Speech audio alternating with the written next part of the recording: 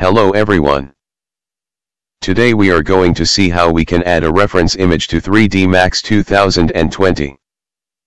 Using materials to add a reference image could be a tedious process.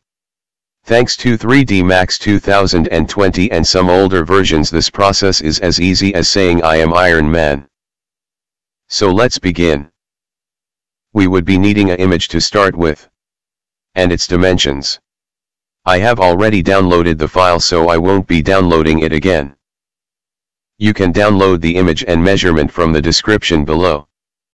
After having all our files downloaded, open Photoshop. Click on New File and add the values mentioned on the site. Select centimeters from the drop-down menu. And you can also change the resolution of the image. This file will later be used as our reference image.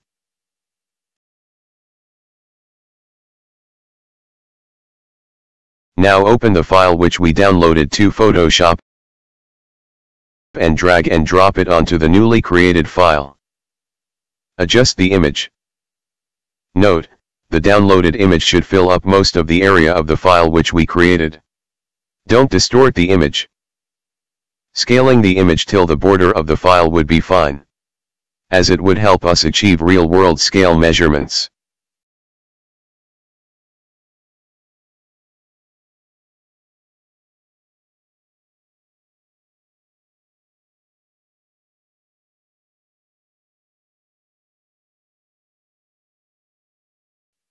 Once you are satisfied with the scaling go ahead and export the image, to your desired location.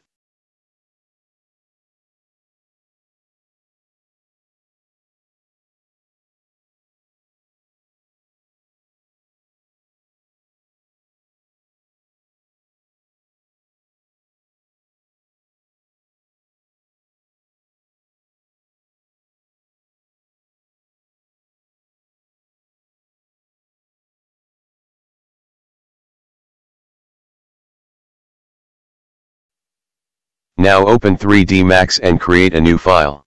Press T. For top viewport. After that select the plane tool and create a plane.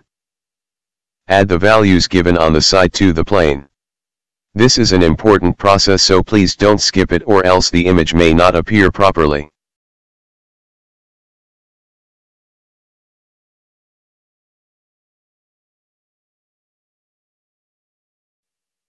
Press P. For perspective viewport. Press Z. To zoom the object.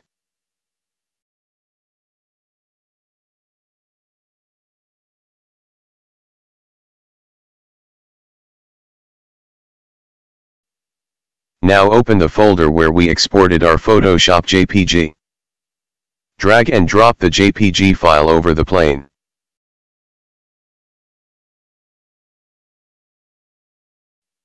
As you can see the object image can be seen on the plane but it's still not proper.